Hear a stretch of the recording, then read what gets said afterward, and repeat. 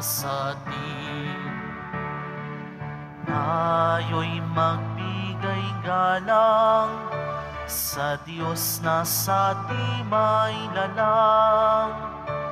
Tanay pinakuli at hinirang kawang iniingatan ating dakilain at sambahin ang Panginoong butihin ialay mga awitin sa piging na handog na sa.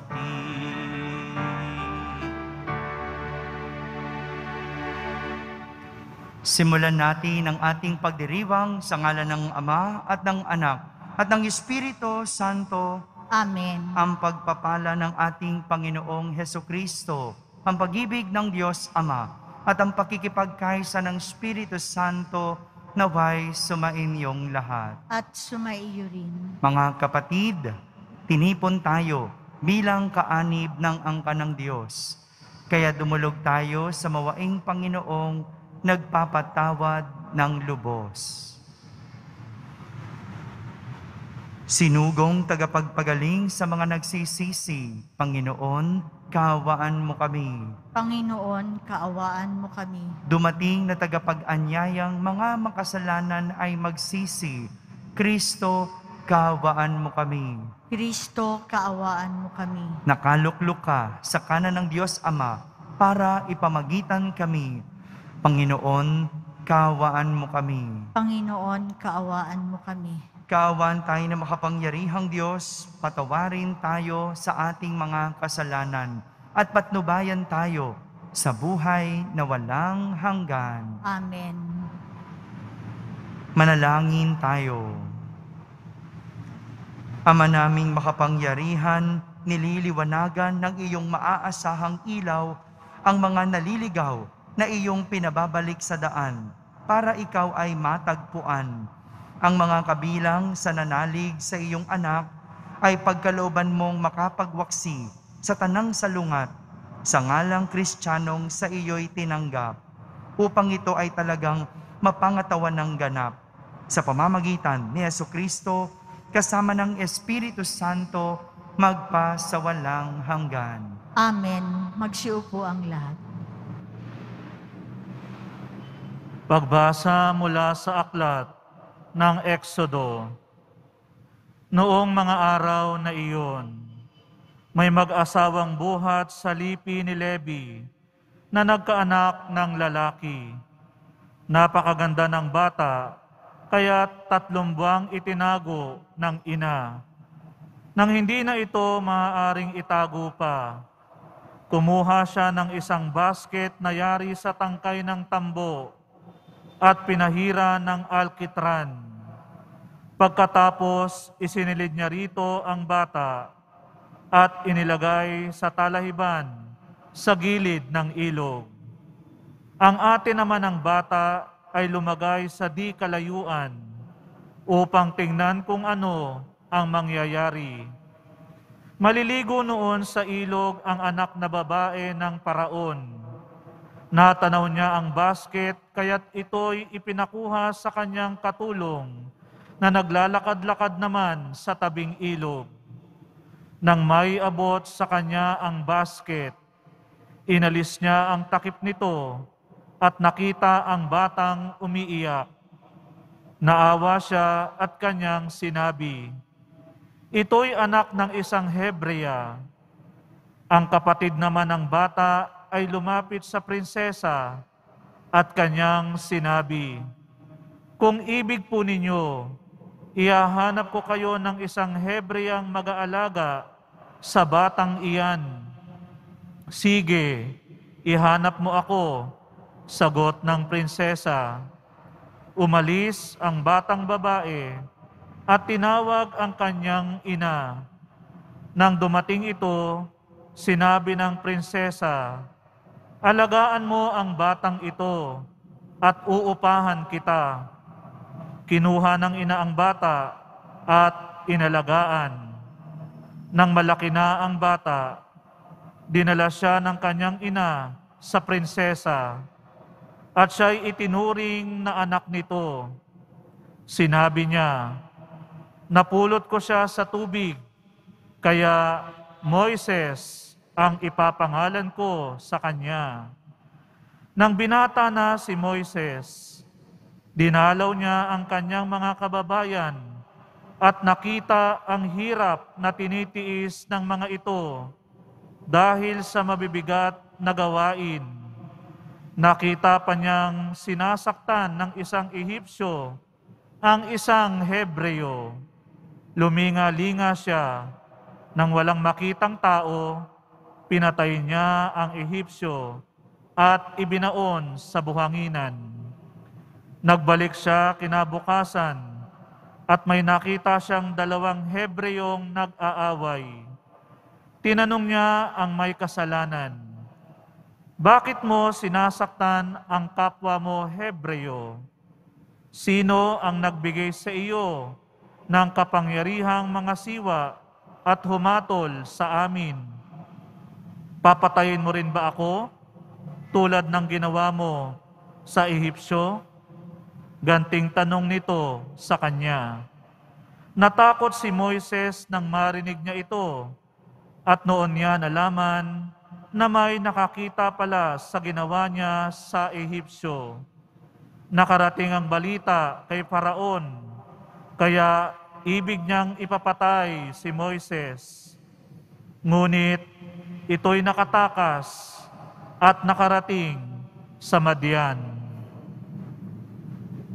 Ang salita ng Diyos. Salamat sa Diyos. Dumulog tayo sa Diyos upang mabuhay ng lubos. Dumulog tayo sa Diyos upang mabuhay ng lubos. Lumulubog ako sa burak at putik at sa malaking along nagngangalit. Dumulog tayo sa Diyos upang mabuhay ng lubos. At sa ganang akin ako'y dadalangin. Sa iyo, O Poon, sana'y iyong dinggin.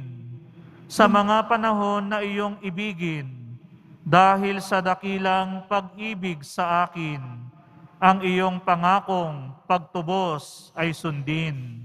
Dumulog tayo sa Diyos upang mabuhay ng lubos. Naghihirap ako't mahapdi ang sugat. O Diyos, itayo mo, ako ay iligtas. Pupurihin ang Diyos aking aawitan. Dadakilain ko't pasasalamatan. Dumulog tayo sa Diyos upang mabuhay ng lubos. Kung makita ito niyong mga dukha, sila ay sasamba sa laki ng tuwa. Dinirinig ng Diyos ang may kailangan, lingkod na bilanggoy, di nalilimutan. Dumulog tayo sa Diyos upang mabuhay ng lubos. Magsitayo po ang lahat.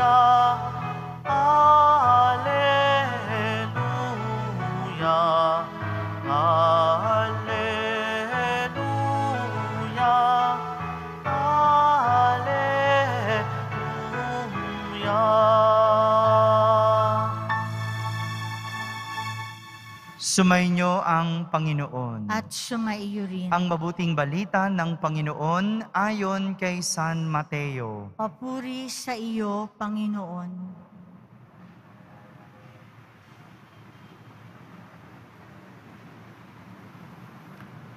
Noong panahong iyon, sinumbatan ni Jesus ang mga bayang ginawa niya ng maraming kababalaghan sapagkat hindi sila nagsisit tumalikod sa kanilang mga kasalanan.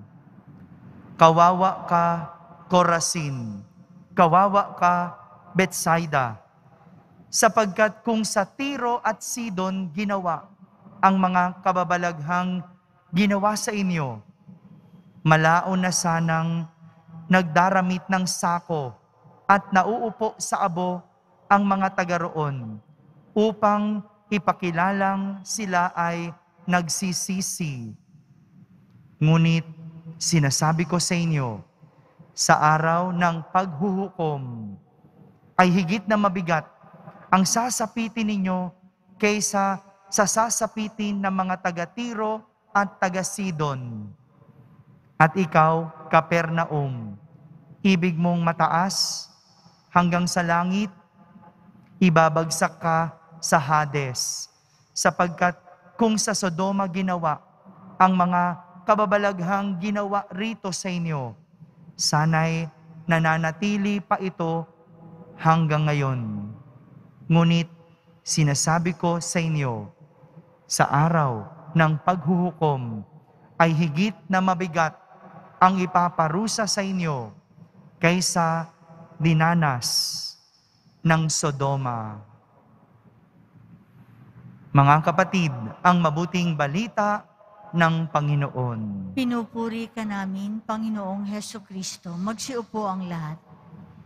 Magandang araw po sa inyong lahat.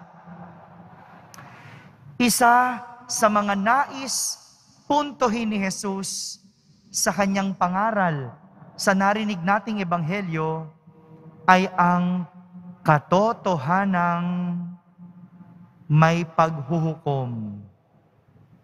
Totoo po, mayroong paghuhukom. Mayroong araw ng paghuhukom. Ito yung sinasabi ni Jesus kasi nanghihinayang siya sa mga taga Corazin at Bethsaida. Ganun na rin sa mga taga Capernaum.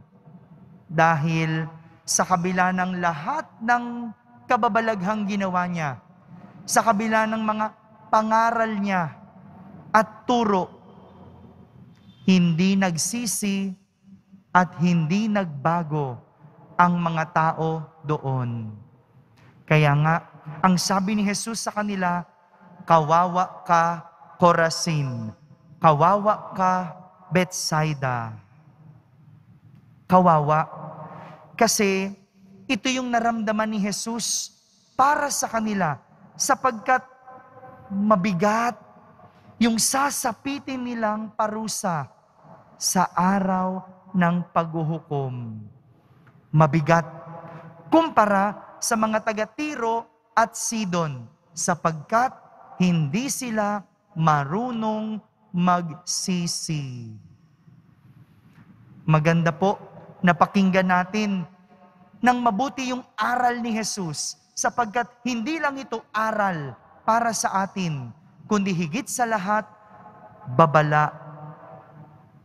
Babala sa atin na dapat tayo ay nagsisisi sa mga kasalanang nagawa natin. Dahil dadating ang araw, mayroong paghuhukom. Ang pagsisisi, hindi po yan na ituturo. Hindi mo pwedeng sabihin magsisi ka. Hindi mo pwedeng sabihin sa anak mo, pagsisihan mo yung ginawa mo. Hindi po pwede.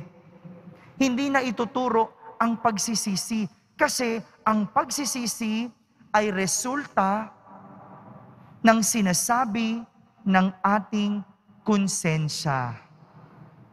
Ang pagsisisi ay resulta ng sinasabi ng ating konsensya. Kaya naman, ang dapat na hinuhubog o tinuturuan ay ang ating konsensya. Dahil kapag alam ng konsensya kung ano ang mabuti at kung ano ang masama, kusang mararamdaman nito ang pagsisisi. Kusang lalabas ang pagsisisi.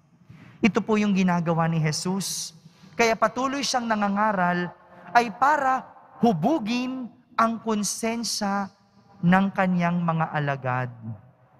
Hubugin ang konsensya dahil kapag ang konsensya hindi nahubog, patuloy itong nagkakamali. Kahit nagkakasala ang tao, wala itong mararamdaman na pagsisisi. Kaya nga minsan ang tao, kahit lugmok sa kasalanan, kahit mabigat ang kasalanan, hindi marunong magsisi dahil hindi naturuan, hindi nahubog ang konsensya. Ang tao naman, likas na mahina. Ang tao naman, sadyang nagkakamali. Kaya nga, tinuturuan ng konsensya para sa tuwing magkakamali o magkakasala, merong uusbong na pagsisisi. Alam nating magbalik loob at alam nating humingi ng tawad. Ito yung nakakalungkot na kwento sa tao. Yung hindi na marunong magsisi. Hindi marunong mag-sorry. Alam na nga nakagawa ng mali, hindi pa rin inaamin. Alam na ngang kasalanan ang ginagawa, patuloy lang sa buhay na parang walang nangyayari. Tinuturuan tayo ni Jesus para mahubog ang ating konsensya. Nang sa ganon, kahit na tayo'y mahina, kahit na tayo'y nagkakasala, mayroong konsensyang magsasabi na dapat tayo ay magsisi. Totoo, ang araw ng paghuhukom. At nawa, tumatak ito sa atin para bago pa tayo gumawa ng isang bagay, mahuhusgahan natin kung ito ba ay magdadala sa atin sa kabutihan o magdadala sa atin sa kaparusahan. Amen. Magsitayo po ang lahat.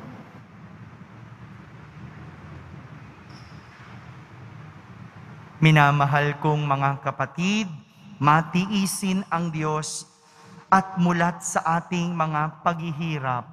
Manalangin tayo sa Kanya upang tulungan niya tayo sa daan ng pagbabalik loob at pagbabagong buhay. Ating sambitin sa bawat panalangin, panibaguhin mo kami, Panginoon. Panibaguhin mo kami, Panginoon. Ang Kristiyanong nananalig, naway tumugon sa tawag ng pananampalataya at pagbabalik loob. Manalangin tayo. Panibaguhin mo kami, Panginoon. Tayo naway bigyan ng Diyos ng katapangan na italaga ang ating sarili para maging malaya kay Kristo ang mga taong napipiit sa kanilang pagkamakasarili. Manalangin tayo. Panibaguhin mo kami, Panginoon. Yaong may mga pusong hungkag at nanlalamig, naway makatagpo ng kaligayahan sa pag-ibig ng Diyos at ng kanilang kapwa. Manalangin tayo. Panibaguhin mo kami, Panginoon. Ang mga may karamdaman sa isip at katawan, naway magkaroon ng ganap na kagalingan. Manalangin tayo. Panibaguhin mo kami, Panginoon. Sa katahimikan, ating ilapit sa Diyos ang lahat ng ating mga pansariling kahilingan at mga kahinaan.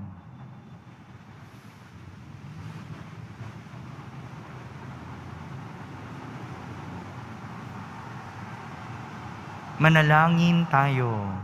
Panibaguhin mo kami, Panginoon. Diyos ng habag at pag-ibig, pakinggan mo ang daing ng mundong nagsusumamo sa pagdurusa at pagkakasala. Palayain mo nawa kami sa pamamagitan ni Kristo na ating Panginoon. Amen. Magsiupo ang lahat. Ang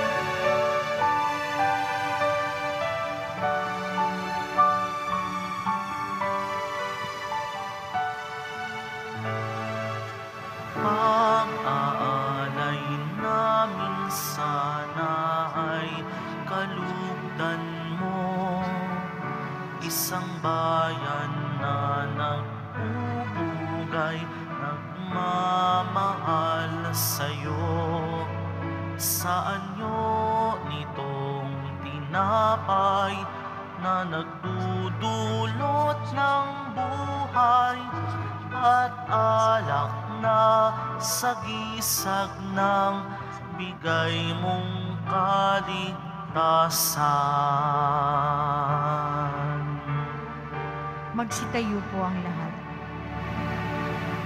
Manalangin kayo mga kapatid upang ang paghahain natin ay kalugdan ng Diyos amang makapangyarihan.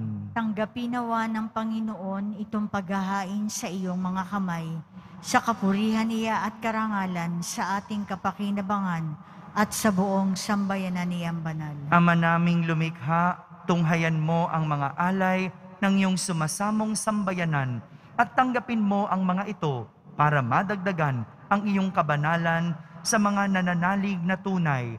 Sa pamamagitan ni Yesu Kristo kasama ng Espiritu Santo magpa sa walang hanggan. Amen. Sumainyo ang Panginoon. At sumaiyo rin. Itaas sa Diyos ang inyong puso at diwa. Itinaas na namin sa Panginoon. Pasalamatan natin ang Panginoong ating Diyos. Marapat na siya ay pasalamatan. Ama naming makapangyarihan, tunay ngang marapat na ikaw ay aming pasalamatan sa iyong paglingap at kagandahang loob, ang tao'y nilikha mo at pinangasiwa sa sansinukob.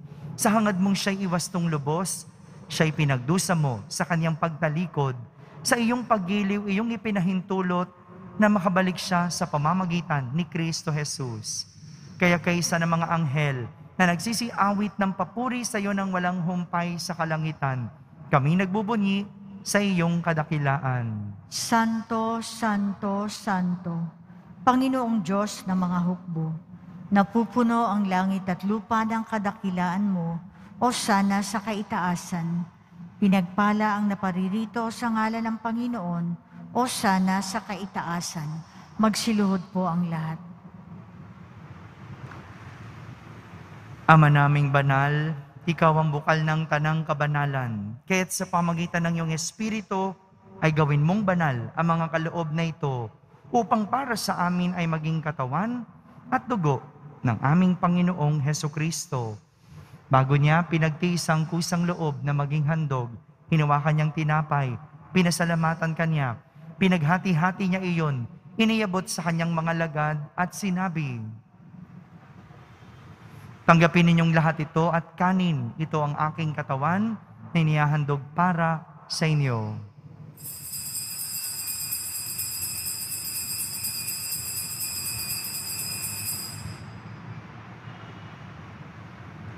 Kaya hindi naman na matapos ang hapunan, hinawakan niyang kalis, muli kanyang pinasalamatan. Iniabot niyang kalis sa kanyang mga lagad at sinabi, Tanggapin ninyong lahat ito at inumin. Ito ang kalis ng aking dugo, ng bago at walang hanggang tipan. Ang aking dugo ay bubuhos para sa inyo at para sa lahat sa ikapagpapatawad ng mga kasalanan. Gawin ninyo ito sa pag-alaala sa akin.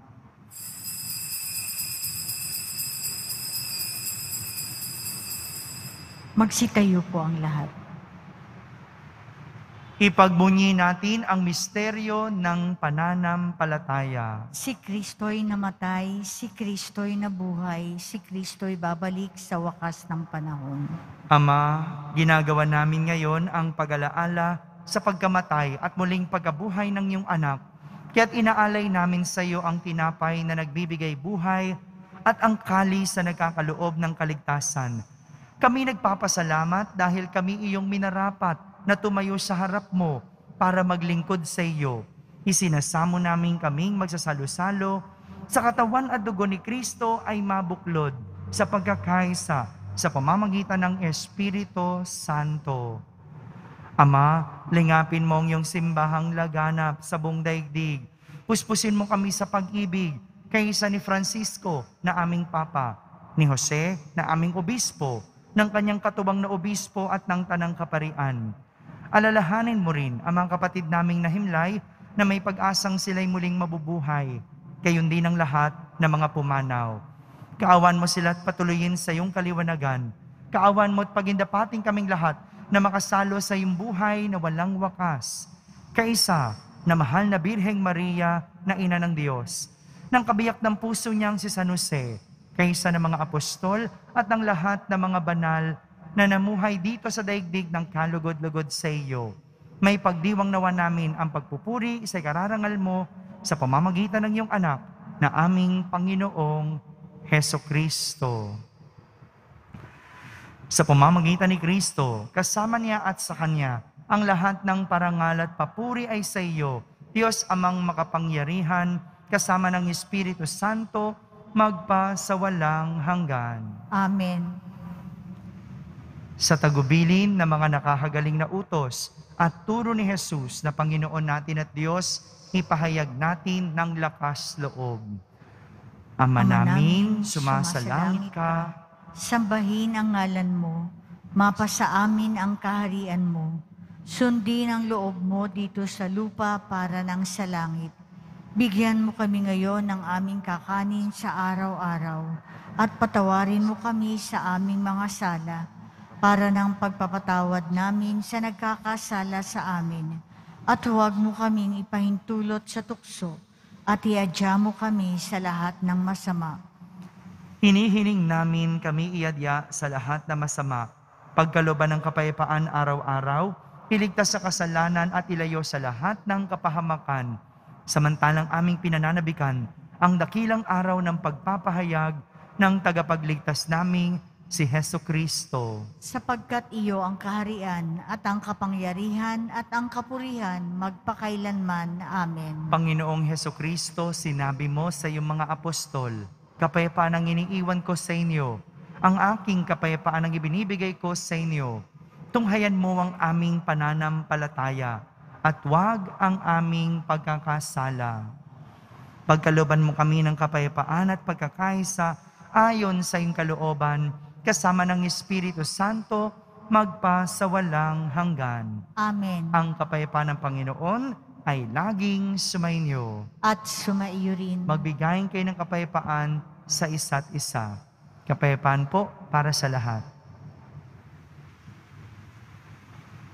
Kordero ng Diyos na nag-aalis ng mga kasalanan ng sanlibutan, maawa ka sa amin. Kordero ng Diyos na nag-aalis ng mga kasalanan ng sanlibutan, maawa ka sa amin. Kordero ng Diyos na nag-aalis ng mga kasalanan ng sanlibutan, ipagkaloob mo sa amin ang kapayapaan. Magsiluhod po ang lahat.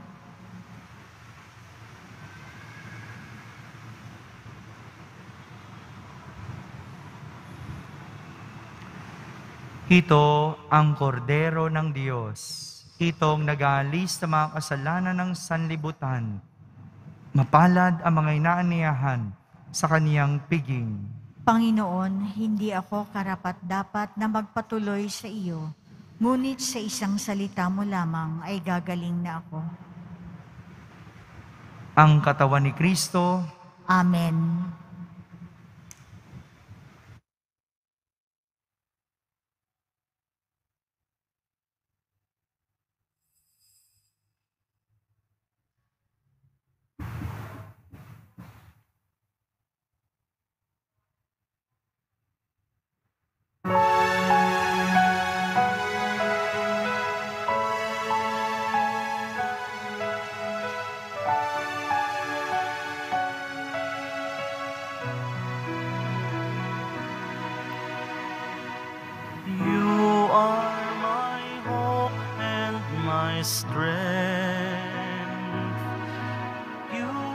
Guide me and embrace me with your love. You gave your life to save me from sins. Jesus, my Savior, my Lord. I will proclaim that you are my God, God of mercy and the giver of life. I will submit my life to you to serve you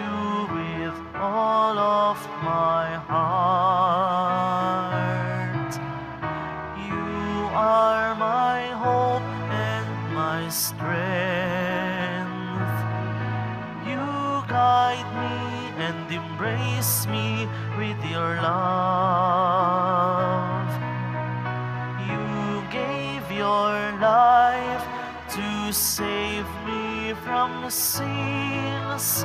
Jesus, my Savior, my Lord. Guide me each day to learn how to love. I am servant and you are my king. I offer to you my heart and my mind. Use me, Lord Jesus, my God. You are my hope and my strength. Embrace me with your love. You gave your life to save me from sins.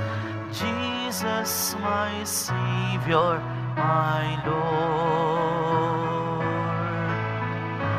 Jesus, my Savior, my Lord.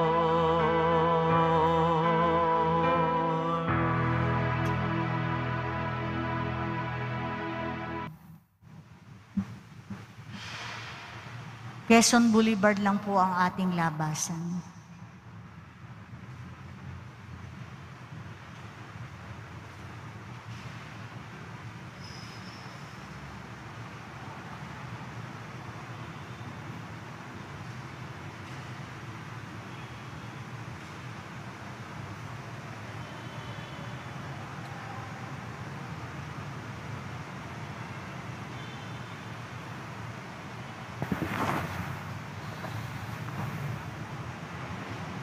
Magsitayo po ang lahat. Manalangin tayo.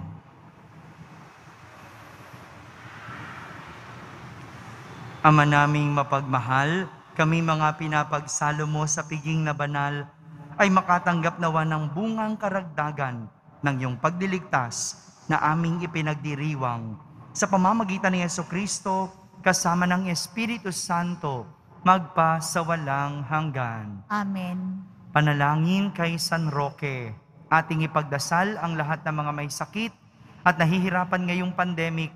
Pagdasal din po natin ang buong mundo, ang ating bansa at higit sa lahat ang ating pamahalaan.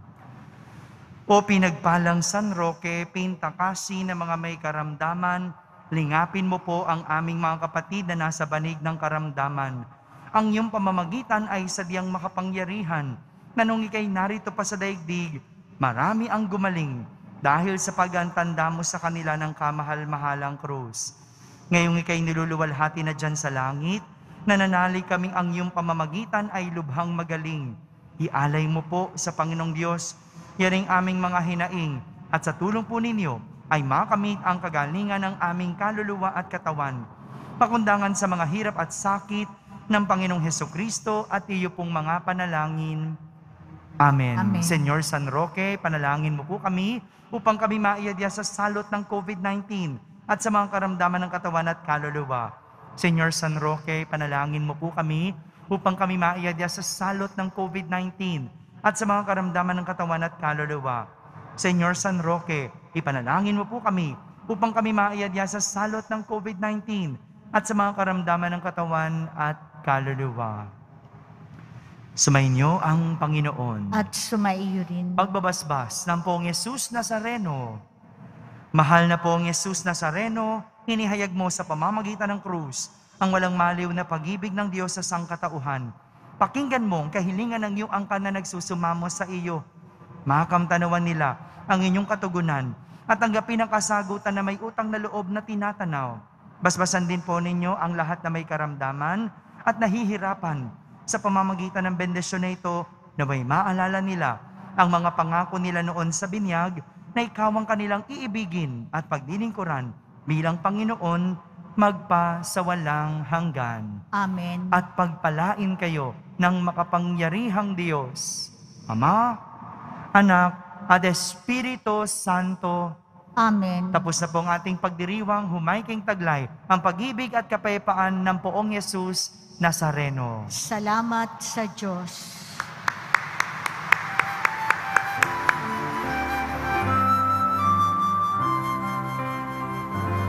Nuestro Padre Jesús Nazareno, sinasamba ka namin. Pinipintuho ka namin, aral mo ang aming buhay at kaligtasan.